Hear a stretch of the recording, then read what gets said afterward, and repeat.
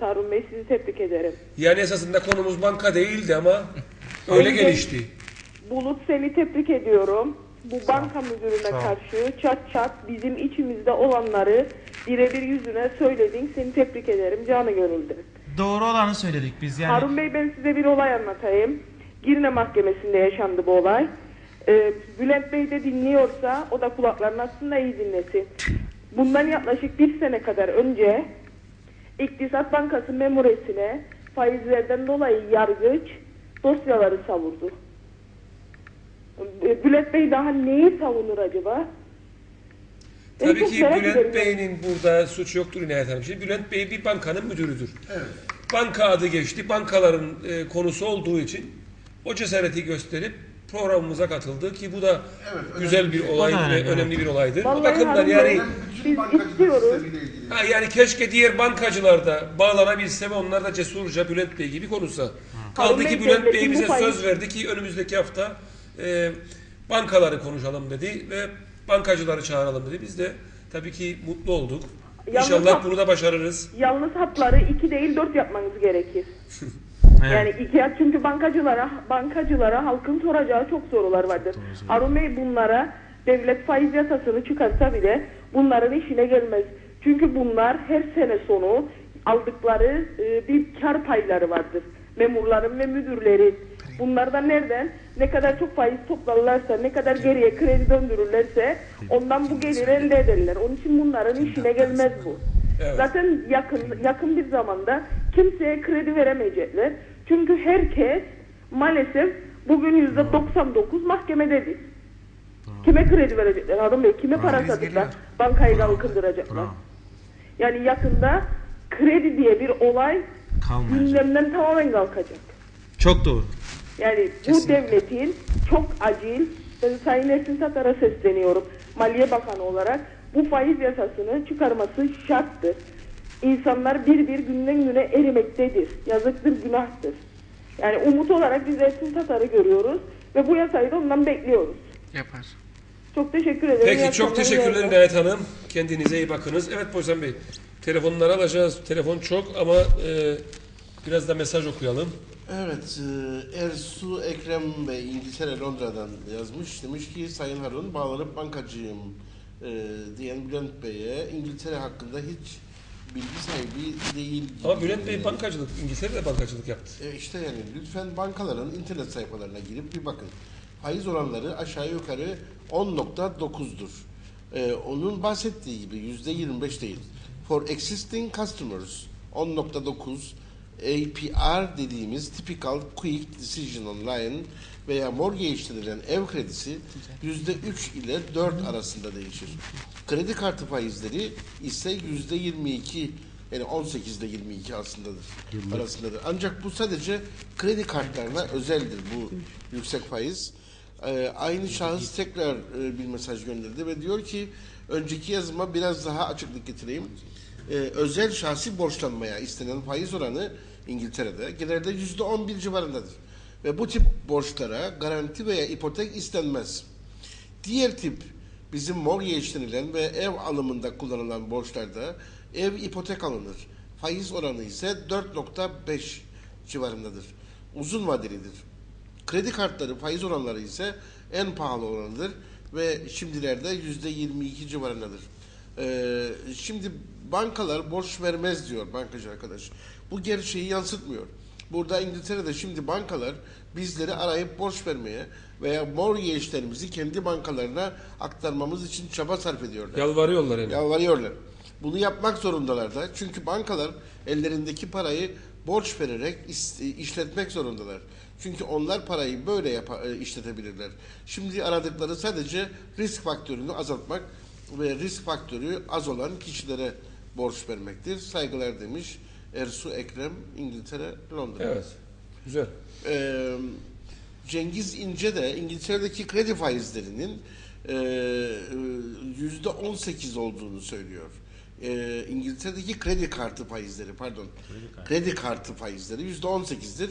Borcunuzu da gün gelir ödeyemezsiniz. Banka sizden aylık bir sterlin almaya razıdır Ee, ve faizsizdir demiş. Öyle hapse girmez. Hayır. Salih Erbil Yusuf. Londra annem demiş 7 yıl boyunca e, bir bankanın kredi kartını kullandı. Her ay boyunca da düzenli bir şekilde 2 milyar ödedi. 2 aylığına Londra'ya tatile geldi. Bir ay ödemediği için kartını iptal ettiler. Yorumlarınızı merak ediyorum demiş Salih Yusuf. E, Mustafa e, yine Londra'dan Lino Bambago diyor ama takma bir isim oldu. Aşikardır Mustafa'nın. E, şöyle diyor. Bir iş adamı olarak kendisi iş adamıymış. İngiltere'deki faiz oranları ile ilgili bilgi vermek istiyorum. Öncelikle 0.5 oranındaki faiz bankalar arasındaki faizdir. Yani bir ticari banka Merkez Bankası'ndan bu oranda para satın alır e, ve bunu müşterilerine satar. Buna başka e, base rate derler.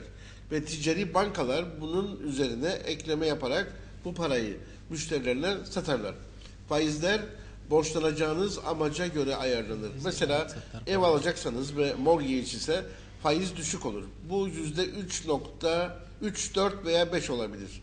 Şahsi borçlanmaysa yani araba alacaksanız veya evinize tamir yapacaksanız yüzde 7 ve 8 olabilir. Eğer iş yapmak veya ticari borca borçsa eğer alacağınız bu da yüzde ona kadar çıkabilir. Biraz önce arayan e, bankacı arkadaşın dediği gibi burada da bankalar adamına göre garantilerine veya alacakları risklere göre faiz uygularlar. Kredi kart faizleri ise kendi başlarına buyruktur. Yüzde 18'den yüzde 33'e kadar faiz uygulayabiliyorlar.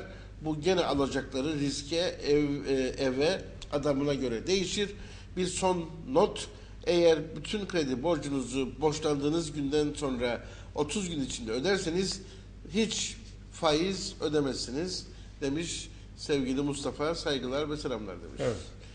Cemal Akyürek e, sevgili Bulut Akacan gazetelerde Girne Belediye Başkanı aday olacağınızı duyduk. Doğru mu? Eğer aday olmayı düşünüyorsanız tüm Girne gençliği arkanızda olacak hiç kuşkunuz olmasın demiş. Evet. Var mı Var böyle mı böyle bir niyetiniz? Şimdi ben Girne'yi çok seviyorum.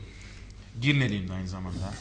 Ve nasıl bu bankalarda böyle hatalar var. Girne'de çok büyük hatalar var. Yani Girne coğrafyasıyla bence dünyanın en güzel yerlerinden biri ama hakkını veremiyoruz o coğrafyanın.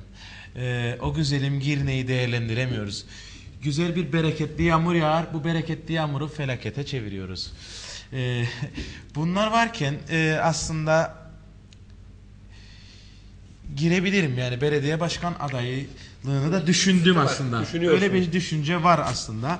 Fakat biliyorsunuz hep bazı kıs- e, bazı kesimlerle görüştüm. Girelim mi? Yani biz gençler olarak bazı şeyleri ele alalım mı? Bazı şeyleri düzeltelim mi? İnsanların gözünde e siz daha çok gençsiniz. Biraz daha bekleyin. Biraz daha büyüyün. Biraz daha yaşlanın. 70 yaşına gelin ki yaptığınız eserleri göremeyesiniz. Yani belki ben Girne'ye güzel bir eser yapacağız ama 70 yaşında yapacağız ya o eseri. Artık göremeyecek. Torunlarımız için eser yapacağız. Biz diyoruz ki hayır bugün bir eser yaratalım. Girne için bir sürü projelerimiz var. Yani biz e, gençlik grubu olarak Girne'de boysam ben çok düşündük neler yapabiliriz. Bir sürü projelerimiz var ve biz bunları görebiliriz ve o enerjiye de sahibiz. E, yani biz Girneliyiz, Kıbrıslıyız. E, yani işte önümüzün açılması, gençlerin önünü hani bir devrim olması lazım. Hani biz yine sohbetler ettik daha önce ve kalıplaşmış bazı şeyler vardır. Bir Boysan Bey. bakıyorsun mecliste evet. Milletvekili olanlar kelli felli Hep yaşlı kelli- başlı insanlar. Şey, Genç adamlar yani en son bir iki tane girdi Ulusal Birlik Partisi'nden falan çok da hoşuma gitti. E ama Ulusal bana göre işte böyle gençler O zaman sevgili Bulut'u biraz Milletvekili sonra sorgulayacağız bu belediye konusunda. ve böyle gençler belediye başkanı Ee, olmalı. Böyle gençler yanılmıyorsam Amerika'da mezun olduğunu evet, dediniz. Amerika'da ekonomi okudum. Üzerine bir sene de işletme yaptım. Şimdi burada hukuk fakültesindeyim. Evet. Yine Amerikan'da hukuk alıyorum.